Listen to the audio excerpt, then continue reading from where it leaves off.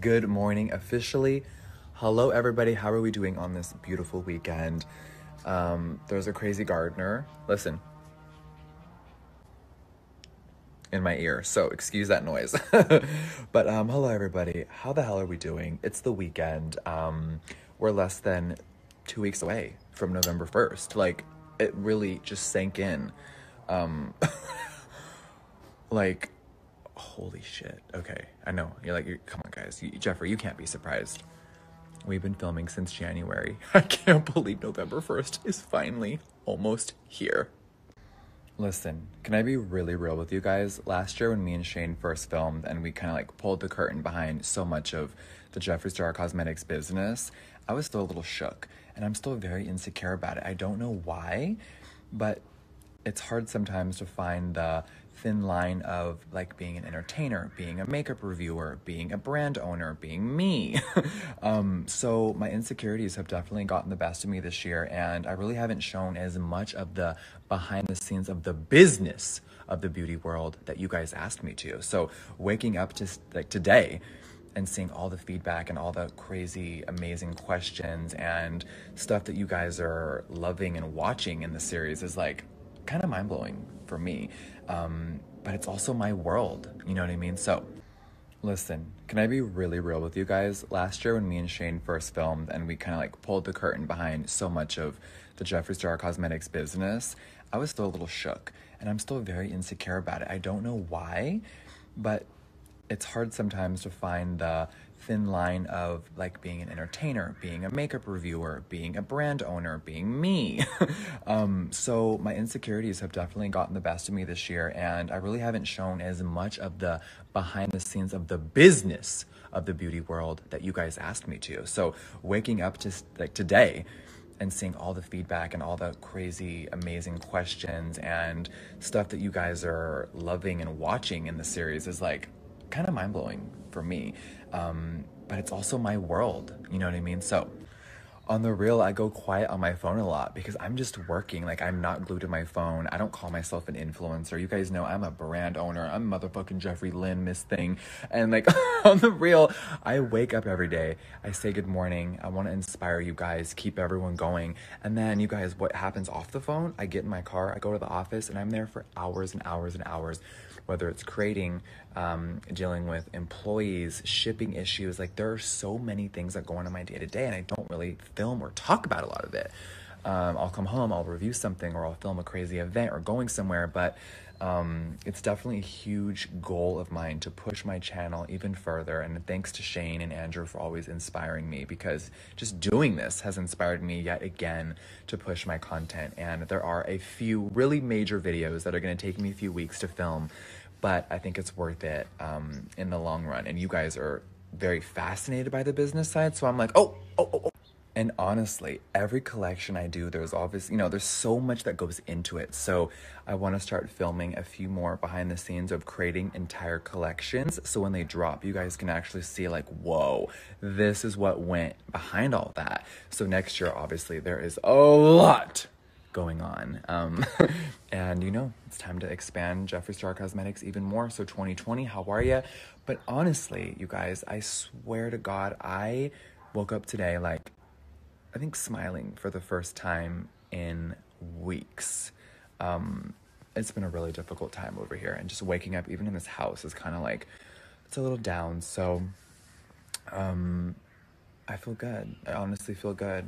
It's taken weeks and weeks to even try to get to this place, but um, I'm okay. So, on a real level, I want everyone to enjoy episode four. I can't believe it's out.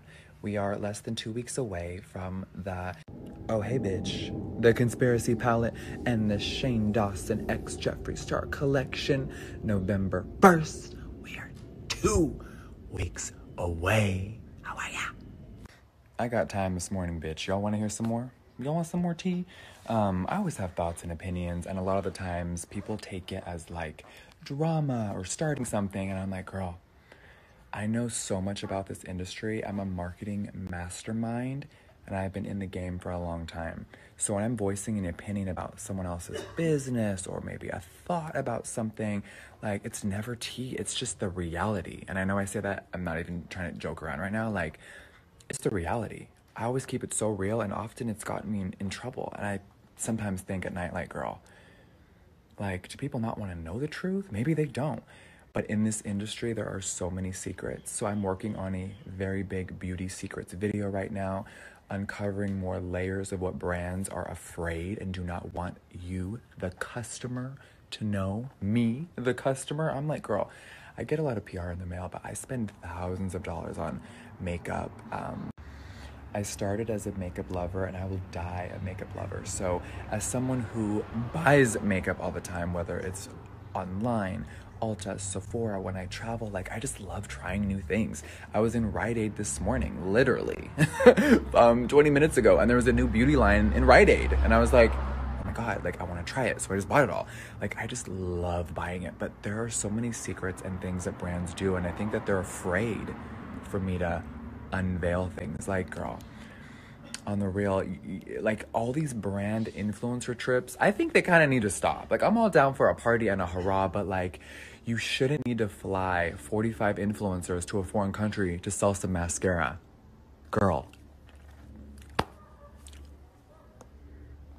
Do uh, is that necessary anymore? Like uh, i just think the way that the beauty industry is it's stale bitch. I'm bored.